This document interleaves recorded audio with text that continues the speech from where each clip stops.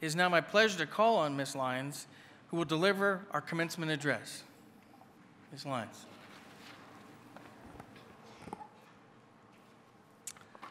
Father Maher, distinguished members of the Board of Trustees, faculty and staff, and honored class of 2016. It is good to be back on Monteagle Ridge. 41 years ago, I sat where you did, nervous, excited, probably more than a little hungover. yeah?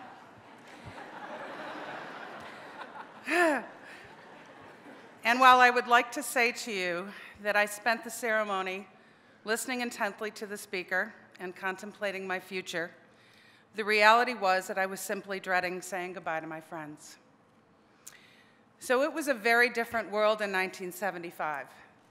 For one thing, we were definitely fashion challenged. All you have to do is look at the yearbooks. But we had great music, other than that unfortunate disco period. In fact, in 1973, from this very stage, Bruce Springsteen played in concert.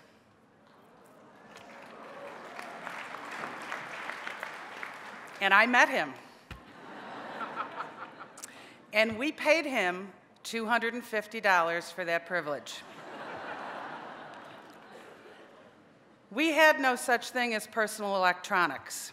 I was fortunate to have a roommate who could afford a rotary dial telephone and an electric typewriter. Now, I had a great time here, I will not lie to you. There are so many things that I do not remember. I had such a good time.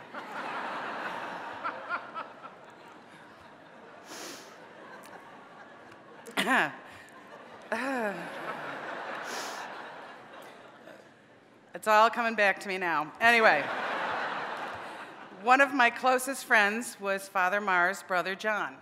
He is a friend of mine to this day. Anyway, our proudest accomplishment was producing a mock April Fool's issue of the Index. We were the onion before they were the onion. For example, we had the president of the university on a big old motorcycle as the front page. Father Slattery was not amused. The entire thing was a farce and a parody. We had a column that was a mock conversation between St. Vincent and the Blessed Mother, whose statues used to face each other. And I wrote an advice column called Rapping with Rhoda. I don't remember all of the content, and yes, as a result, we got into a little trouble. But I do remember that putting it together was some of the most fun I have ever had in my life. Remember this John is a distinguished Vincentian now. Back then, I never saw that coming. My class was also distinguished in that one momentous evening, we kidnapped the nursing dean's portrait from Dunleavy Hall and took her out for cocktails at the Cove, our infamous hangout downtown. Sister Bernadette was toasted by all manner of patrons as we put her up over the bar, and then we, when it was time for her to go home, we sent her home in a cab to the security shack.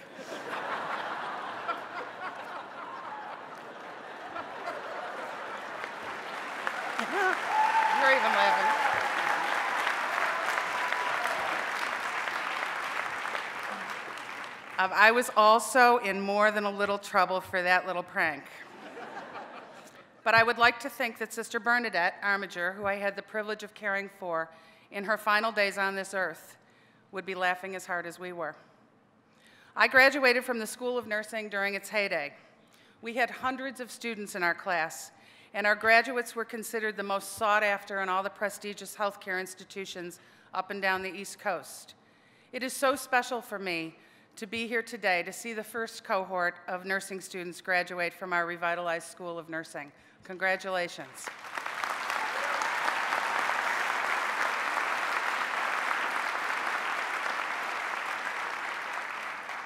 When I was in a position to hire new graduates several years after my own graduation, I always hired a Niagara grad. Now, you may think I'm being biased, and yes, I was, but my friends in business and other fields told me the same thing. Graduates from this university seem to have something different, something special. I tell you a few of these stories because I know now that my parents gave me a great gift by sending me to Niagara. Not only did I receive a world-class education from the outstanding faculty at this school, I made friends that I still hold close to this very day. In times of sadness, loss, or personal challenge, these are the people who show up first. In these 41 years, I have learned a lot about loss loss of my dad and very dear family members and friends, loss of my youth, an involuntary loss of a beloved job, and in recent years, losing control as I became a patient in the very institution in which I work. There is nothing more humbling than being in situations where you have to suspend your own sense of self-direction. These are the times that I call upon the values and strengths that I learned from my family, from my friends, from my faith, and from my time in this great institution.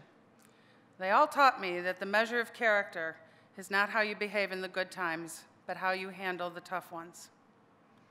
There have been many lessons learned along the way, and as I took my trip down memory lane, my thoughts invariably returned to a few simple guiding principles that have helped me in my life. I am glad to share some of them with you today.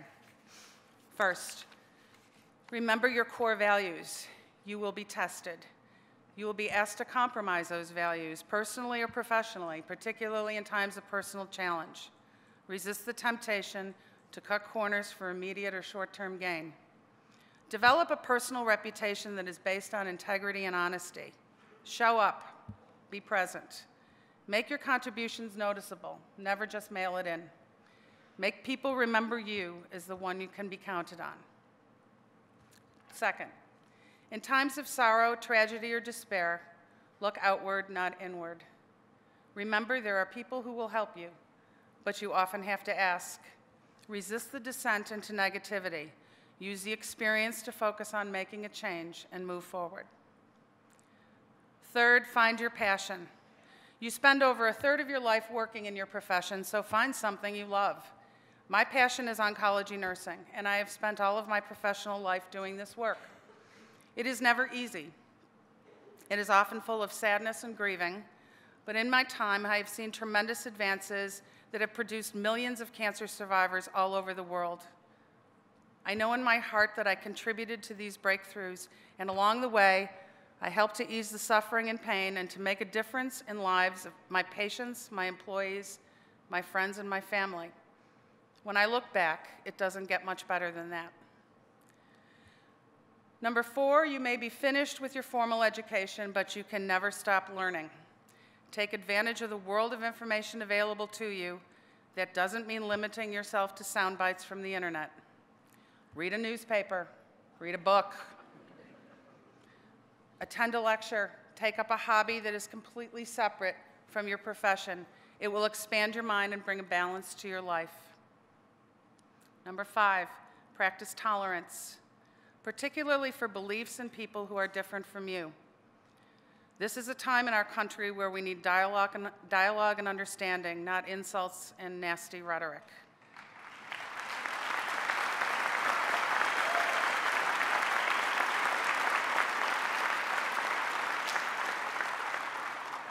Spend time talking to people whose views are different, whose religions are different, you will develop an understanding of cultures and orientations that will help you see a different side of a myriad of issues.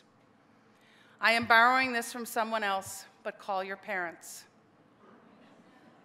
Call them often. Spend as much time as you can with them. They are your best friends and your closest confidants, and they will not be with you forever. Make it your mission to take care of the, them the way they took care of you.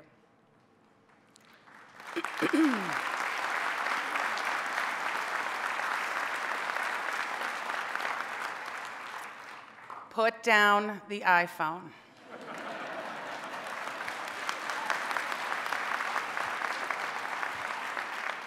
Put it down. Practice the art, the lost art of conversation and human connection that isn't a text message or a Facebook post. Look in someone's eyes and talk to them. Or better yet, get comfortable with sitting with someone in silence. Really. Number eight, remember those less fortunate than you. Call upon your faith and those Vincentian values and seek a life of service if not in your work, then in other parts of your life. We are all simply one paycheck away from personal disaster.